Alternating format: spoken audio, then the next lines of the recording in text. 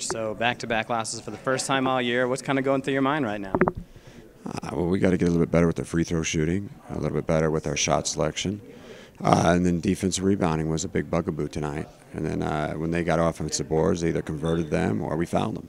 You know, and they shot very well from the free throw line. We'll talk about finding your way as a team. You have two weeks left in the season. You want to be going into the playoffs as hot as you possibly can. What, what do you change in that respect to kind of get back on the hot track? Uh, just raise the rigors a little bit. We just got to continue working hard. Uh, we're doing sound stuff. We got good players, and uh, we just got to stay with it, and it'll happen.